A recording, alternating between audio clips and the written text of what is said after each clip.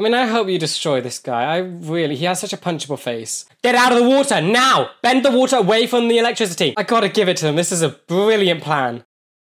What's going on guys, welcome back to the channel, my name is Ben. Today I'll be reacting to Legend of Korra episode 6. Now, the last episode, that was an interesting one.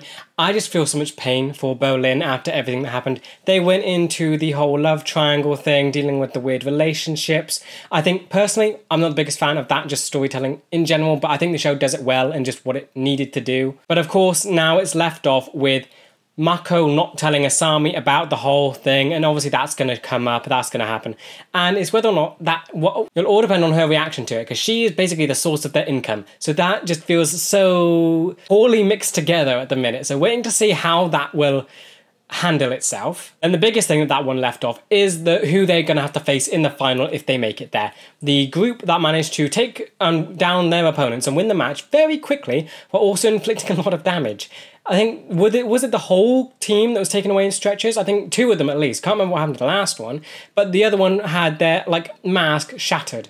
So the team now has to be able to get up to that level and actually be able to take down opponents quickly or at least last long and also try and not get terribly injured. I am enjoying how the show is building up because we have the whole Amon side of things and then the pro bending tournament, and right now it feels like Korra's priorities are kind of conflicted between the two, and I do like that. We're getting different episodes focusing on one at a time, so I'm waiting to see when it's going to clash because obviously Korra's going to have to pick one over the other at some point. I'm looking forward to when that will eventually happen just to see who she will choose. Will she choose being the Avatar over being a friend to Mako and Bolin. Yeah, as always, if you do enjoy this video, please remember to like and subscribe as it really does help the channel to grow. And if you do enjoy my content and you want to help support the channel, I do have a Patreon, the link will be in the description. Over there, I'm uploading these videos and the full reaction a week in advance. If that's something you're interested in, feel free to check it out. But that said, let's just dive on in.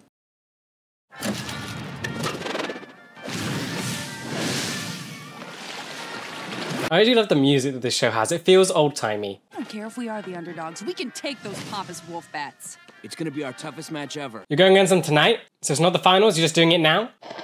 Good morning, citizens of Republic City.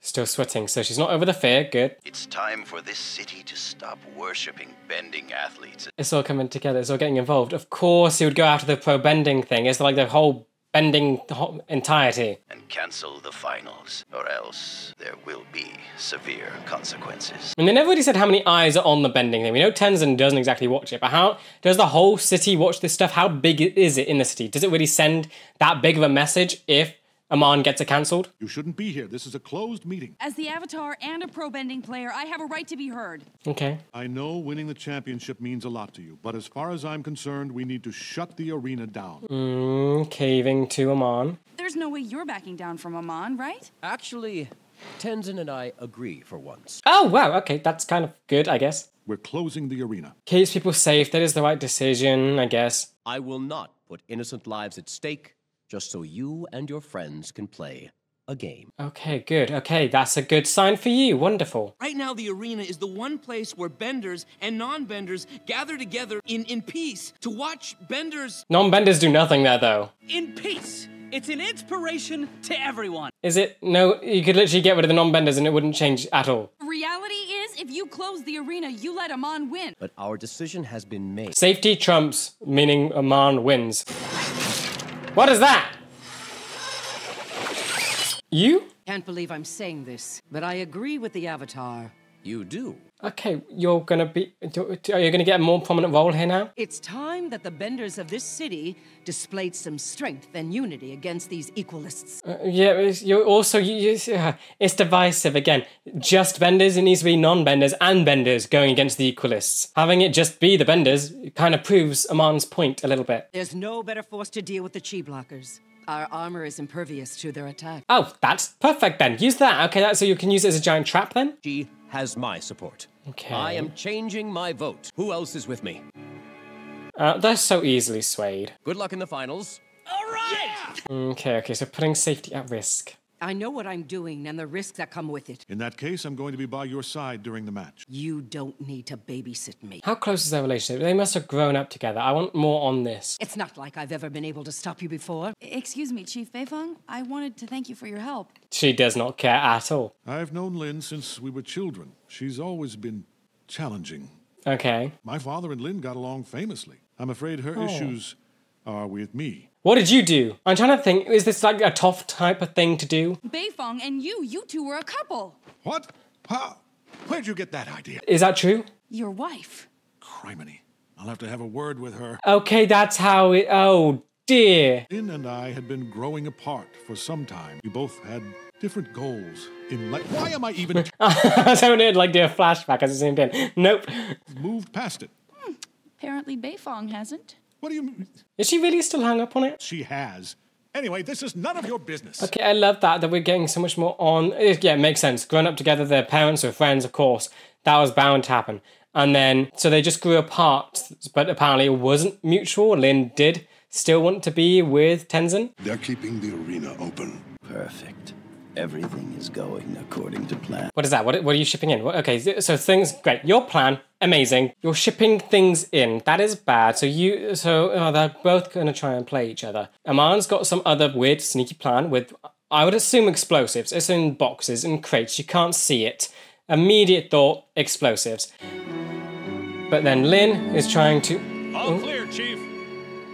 Okay, so you've swept the whole thing. You're trying to make sure everything's prepared as well. But you you need to get inside of his head. You what are you thinking he might be doing? With so much on the line, it would be nice if we could help each other out, at least for one night. Like old times. She does. Oh yeah, she really does. Like wish that she was with you, doesn't she? Less abrasive than usual. I would appreciate that. Okay, so she isn't over it completely then. Uh, like yeah, it would have been a while. He has children now. Now I know there's a big crowd, but don't be nervous. You're gonna do great. He's talking to the ferret, isn't he? I believe in you.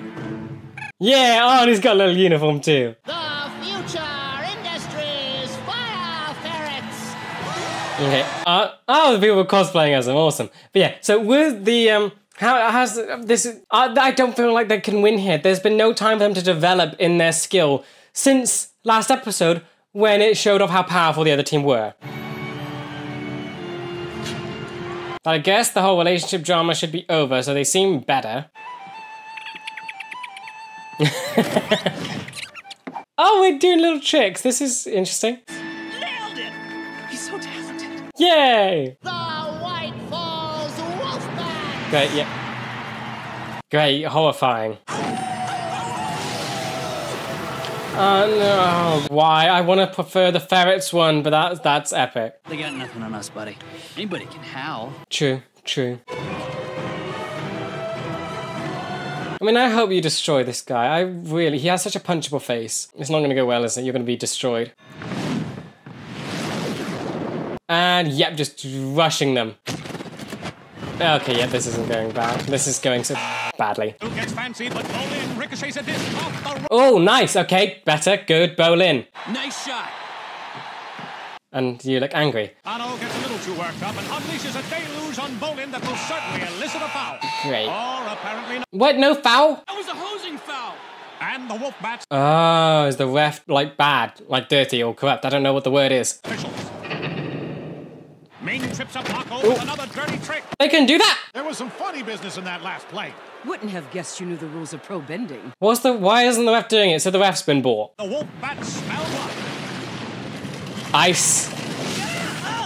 Can they do that? Can they use ice? Tahno snuck in an illegal icing move, but once again, there's no call. So you can see it. Why can't the ref do anything? Oh, a splash crash send the Avatar to zone three as well. Oh wow, they really are just not stopping. It's Great. a knockout. The Wolfbats win. So they're cheaters. That's how they win. So it's not just because they're good. They are just cheaters. Scratch that. The ferrets are still alive. That's allowed? Chuck him up. Chuck him up. Go, go, go. Sneak attack. Sneak attack. Oh, if only it was stronger, you could have whacked him right off. An unbelievable move. The Okay, I do like how annoyed that guy looks. Someone wants us to lose. If the Wolfbats are gonna fight dirty, then so should we. I wouldn't. No, we can't. The refs have it out for us. Yes, they will find every little thing you do. That's no fun, but all right. You just gotta be uh, prepared for what they could do. Now you know that they're gonna fight dirty, expect it. But once again, Tahno sneaks Ice. in a little ice to get the upper hand. But then you can't bend the ice, and that would be illegal, wouldn't it? Wow, those look like illegal headshots to me. Oh, absolutely. Can they do lightning in this? That'd be a bit much, wouldn't it? If one can do ice, would someone do lightning? Which element do you choose? I'm taking this. Great, water. You and me, pretty boy. Thought you'd never ask. Destroy him, please. One on one, but then he's gonna use the ice stuff. But Korra, is she gonna use the ice and let her temper get the better of her and then she'll get fouled Come on, little girl. Give me your best shot. in the face? That's what he wants. Yep. Oh! Is that loud? Undercut, up, uppercut. Is that. Ooh! Is that. Is that allowed? Jump. Tell me it's allowed. Round two goes to the fire. Oh, it's loud. Good, good, good. Thank you. We might actually win this thing. Please. Well, I gotta remember the whole Amon thing. Let's send them to a watery grave. Oh, please destroy him. Your sweet tempered father was reincarnated into that girl. She's tough as nails. Reminds me of someone. Wait, isn't actually liking it? You two might get along if you would only give her a chance. Hmm. Maybe. May- well, like, why? I don't know. It's, yeah. It's weird that she's, how against her she is. Getting in there with the best, especially when the best are frankly getting a little. I want them to win. They don't feel like they've developed enough to do it, but I would like it. But then you got the whole Amon situation, who you know is going to interrupt this when it gets really good. Oh, great. Rocks, no! Hang on! Too far. No. That water had rocks in it. Knockout. Can someone go? Can someone hurt the ref? I don't. don't I don't like the ref. Replace them. Will be crowned tournament champion. Oh, what? though? They won? Oh. Oh, they're among the crowd. That is brilliant. What is it? What are the gloves? Can they? What is that? Can? Uh, why are they using gloves to? Tenzin, Lin, no. They're among the crowd. Please get away. Get away. Get away. Yep. No. No. No. No. No. No. No. No. Okay, they're shocking. There's that's not the chi blocking thing. It's just electrocution. Don't don't take away Tenzin's bending. And they're taking out all the metal benders. Great. So pro bending's over. You lost. That's great. And now I'm annoyed that the stupid guy won. Get out of the water now! Bend the water away from the electricity. Nope. I gotta give it to them. This is a brilliant plan. There is some sort of electrical disturbance in the stands. Metal bender cups are dropping like bumbleflies. No one's coming for you. Appear to be masked members of the audience wielding strange devices on their. Footsteps yet. One of them is in the booth with me right now, folks. He is leveling one of is it necessary to zap him? he is about to electrocute me. I am currently wetting my pants. And here's Amon. Are you about to send? Is this the message you're gonna send? Kind of good that Korra didn't win then, because I would assume she would be in that position.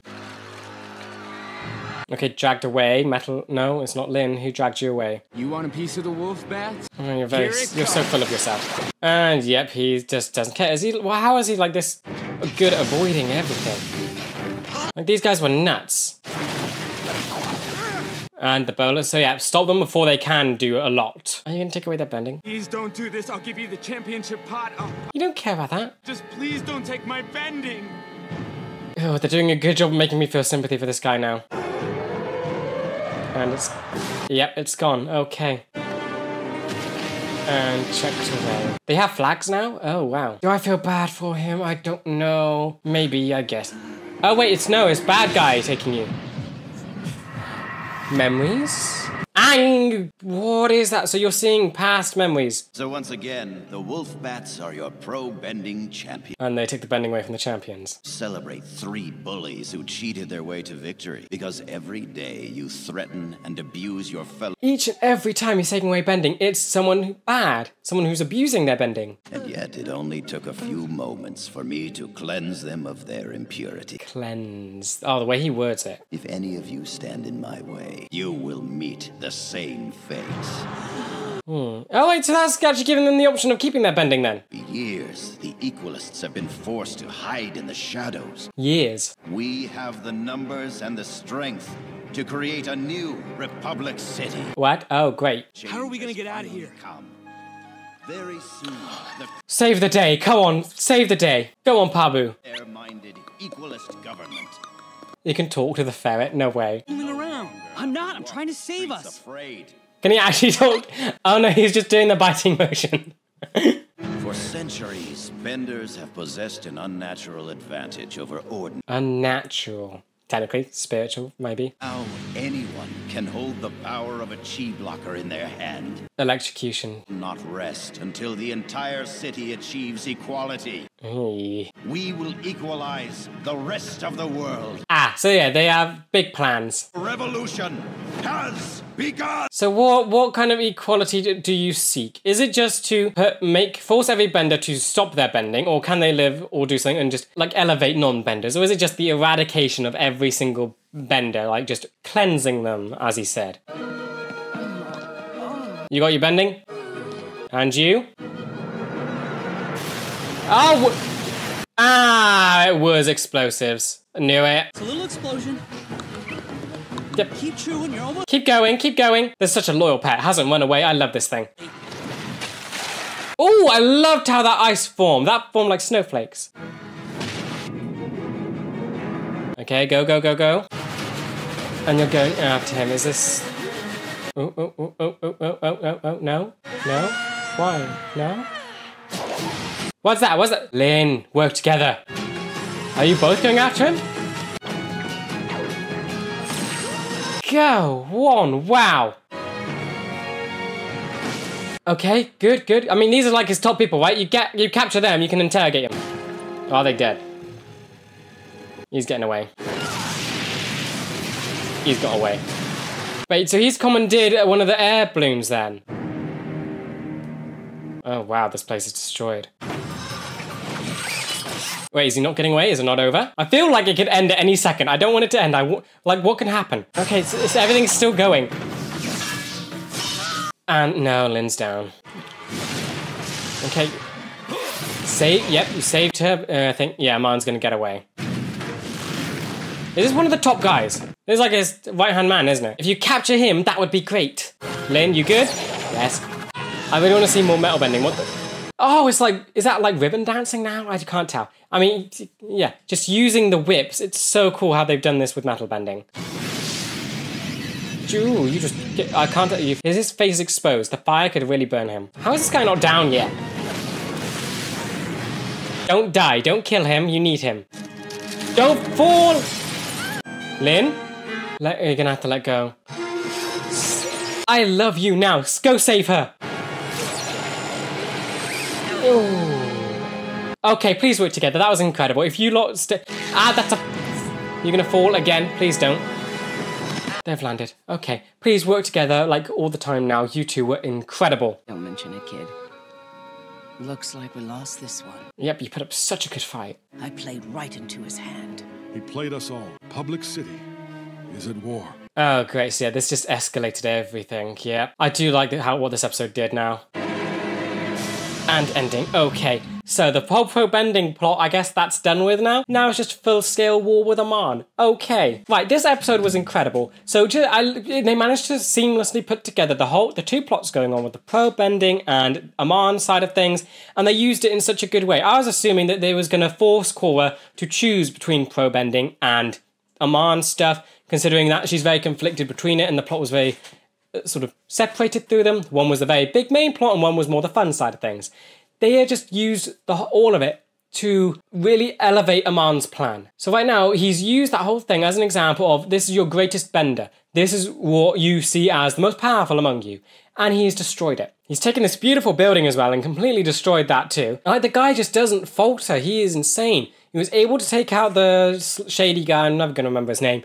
But that he just does it so effortlessly. How he avoids it all. Like I'm so because yeah, someone mentioned recently that his whole plan and his whole stuff. He's a villain that could technically be reasoned with. He's not downright evil. He's seeing an injustice which could be agreed with. We're seeing that non-benders are treated not as equally as uh, regular benders, considering the positions that are available within the city. Police force, any power plant, pro bending stuff. No non-bender can participate in any of that. So there is more opportunity for benders than there is non-benders. I mean, it's such an interesting villain to pair with Korra as well. She is like she just loves to fight. The whole pro bending thing is a boxing ring, and now you have a villain that could technically be reasoned with. It's such a good challenge for her, considering this she doesn't really know how to reason with a villain. This guy could be reasoned with, yet she only uh, the only option she thinks of is trying to just beat him up. She's not realizing that you not you can try and defeat him, yes, that would solve some issues, but you still have the people who've sided with him, joined him willingly,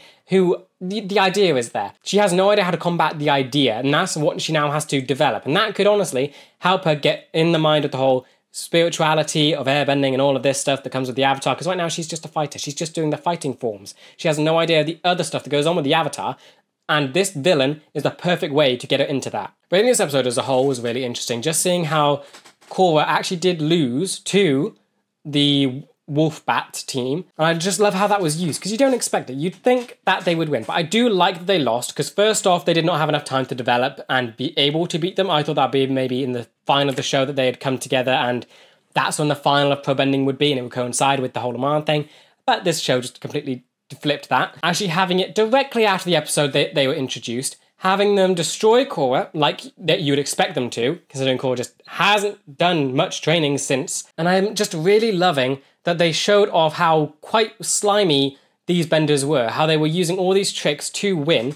They were basically bullies, and Amon is kind of, you can almost feel satisfied that he took their bending away. I think that scene was done really well, because like, part of me was almost enjoyed that he got his bending taken away, but part of me was also just very sympathetic towards him as well. It's such a horrifying act, but you gotta think, does this guy deserve bending if this is what he's using it for? He's abusing it, he's cheating throughout a tournament, and he's gonna profit from it.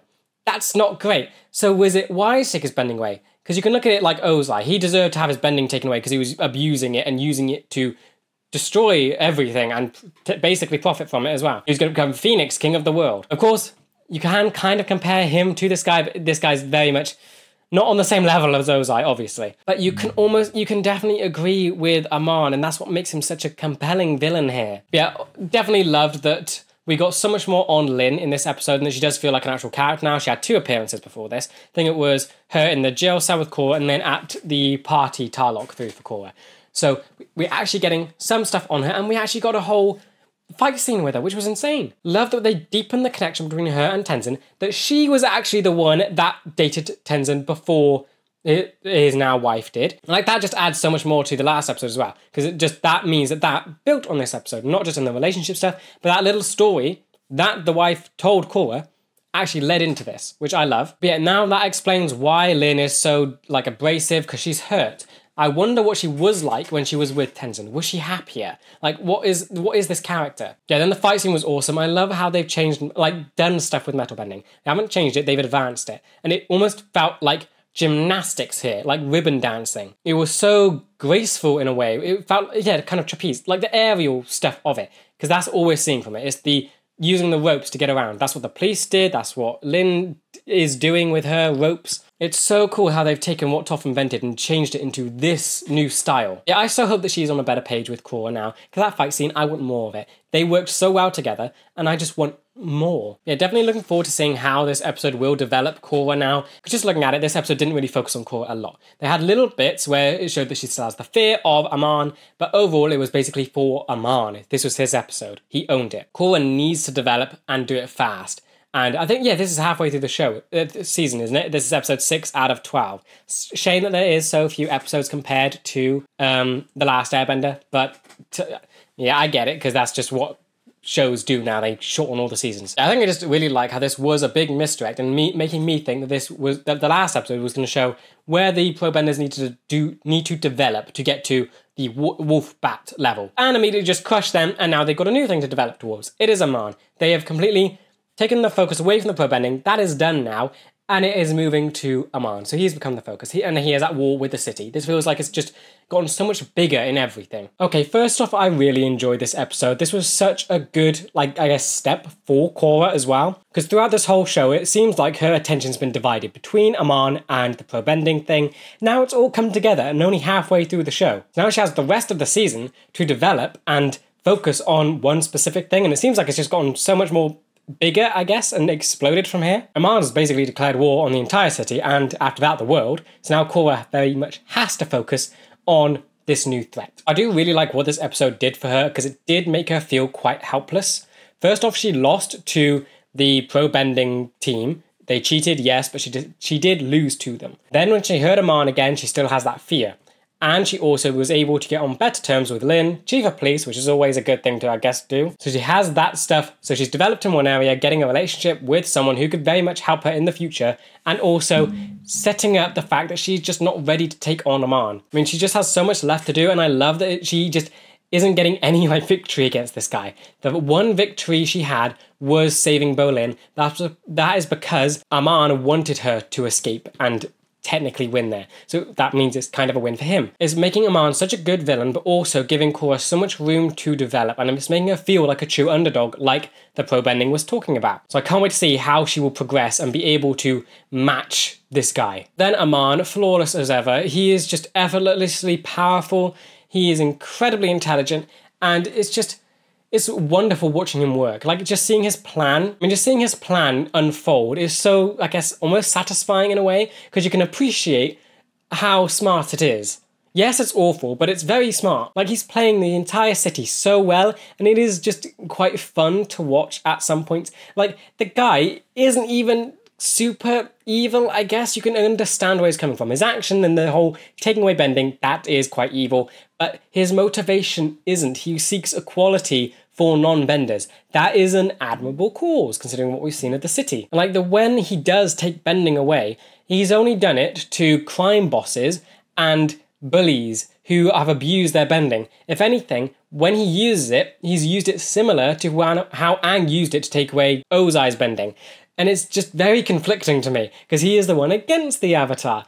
And he's doing all these, you'd think, bad things, but is there really anything super bad going on? The bending that he's taken away, you could argue, is kind of a benefit to society. To say taking away anyone's bending is pure evil would be to say that Aang taking away Ozai's bending is evil. But we know that's not the case because Ozai was using bending for, for evil and for harm and all of this stuff. Crime bosses, they would be abusing their bending these pro benders who are bullying and putting a bad I guess they were using their bending for bad things. Probably not as evil as crime lords and Ozai, but still technically bad. And uh, and Amon is still taking away their bending. I would love to get to know him more and just seeing if he will cross the line. Will he go against innocent people who are, happen to be benders, who aren't abusing their bending? Will he try to take away their bending? Bolin came close, but I don't think he was ever actually going to take away his bending. He knew Korra was going to come in. I don't think he was ever going to actually do it. Then we got Lin. So happy that she's getting more stuff to do because again, she's a child from one of the main Avatar lot. So I'm glad that we're getting to just get more info on her. And it's so awesome how they connected it with the last episode, which felt kind of it felt separate from the plot. They were dealing with the relationship stuff, but it's nice that they were able to tie in the fact that Lin was the person that Tenzin was with before his current wife. And that then that story ended up adding to Korra and all of that stuff. So I like how that tied in. And that explains why Lin seems to be quite miserable because she lost the person that she did love. So that is quite a shame. And that adds some sympathy to her. So she's not just a really awesome fighter and character. She also has a, quite a good level of depth and she's quite a sad character that lost someone like that and she lost her lost the person that she really did love to someone else. If anything, she should be able to relate to Korra quite well, and I'm really hoping that they get a good relationship now, that that can just develop, because they seem very similar. They're both very strong fighters, and they basically have lost a person that they kind Korra doesn't I wouldn't say love it was more of a crush but they're similar so I hope that they can almost relate over those things. Maybe Lin can even see herself in Korra, and she might even become like a mentor figure for her, which could be good as well. There's so much they could do with Lin, and I'm so happy that she got so much to do here. Just the fight scene, I'm hoping that we get more of that. Then Tenzin, he's feeling kind of powerless at the minute with the council, because that's twice now I think the council has sided against him, and Tarlok, Tarlok has gotten his way. But I'm so scared for him to lose his bending. This is like his his relationship with Amon is becoming very interesting because it's whatever Amon's plan is. Is it to eradicate all bending or just eradicate people who are abusing their bending? In which case, Tenzin should be fine. He should be left completely alone, which here he kind of was, but I think Amon knew he couldn't stay there for long. So I I just need Tenzin to stay safe and not to lose his bending because that would be dreadful. But I do like that they are just using him more and just building him here, like adding in the relationship with Lin and him, I guess, being kind of oblivious to the fact that that's why Lin is kind of the way she is.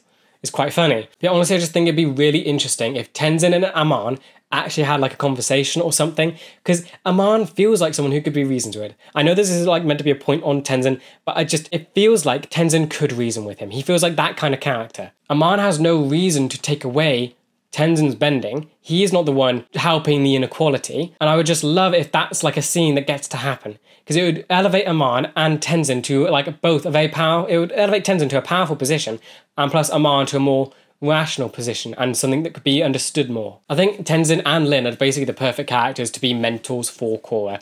Tenzin does the like the I guess rational sort of being able to reason with people, the spiritual side of things. Lin could be the fighter. That could be how Korra develops into other fighting styles. Because of course she would have learned the main bending styles, but Lin is completely outside of that. She could give Korra a completely different perspective, and just her combined with Tenzin could be insane and really powerful for teaching Korra. Then the pro bending. I am so surprised that this has been.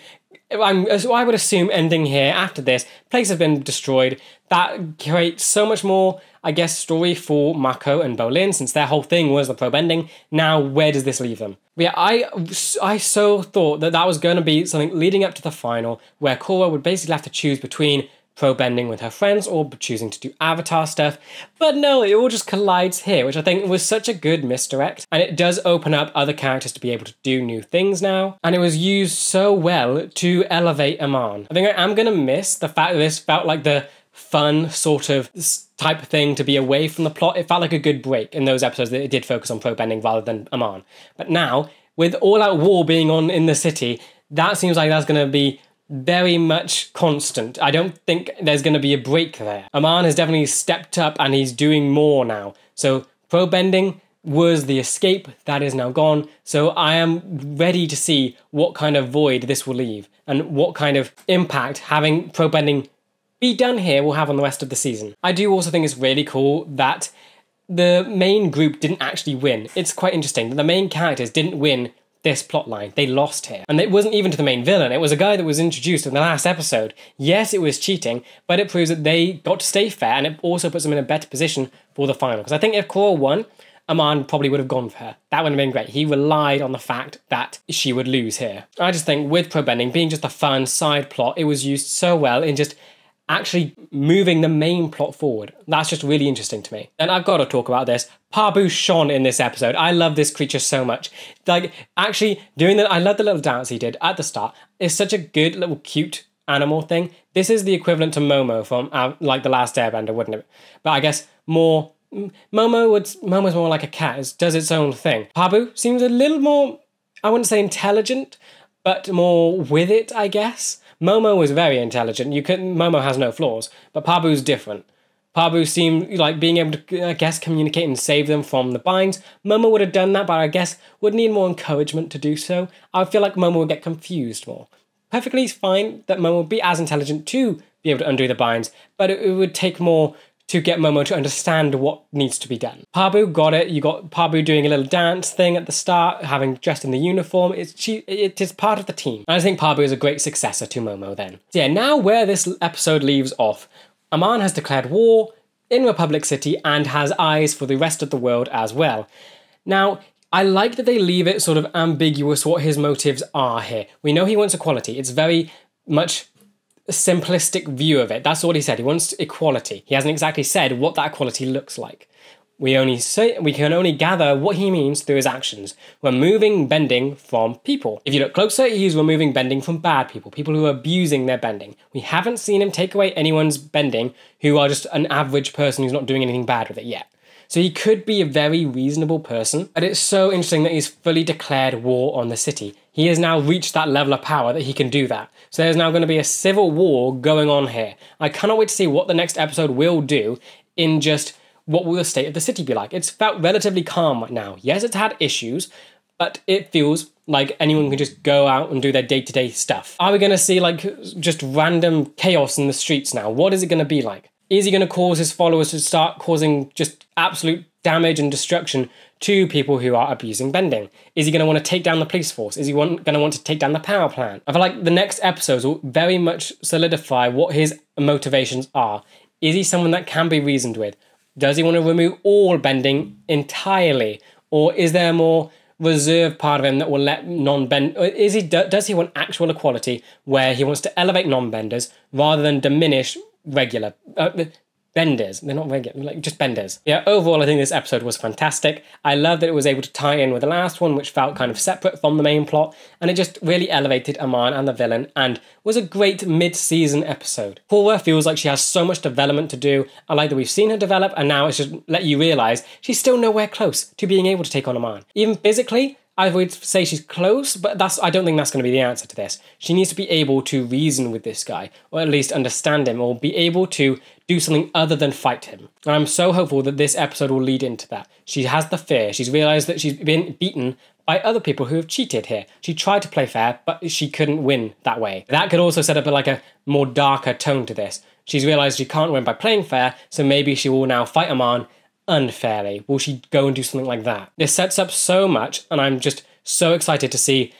how the show will go from here. This feels like it's elevated it to another level. Feels like it's gone to like a war here. Probably not going to be in the same sense of the 100 Year War, but I'm guessing it's going to play into it a little bit and actually go into the chaos of what Amon wants to cause. Yeah, with that said, that does bring me to the end of this video. I hope you guys enjoyed. Let me know what you thought about the episode in the comments, and with that, I will see you in the next one for episode 7.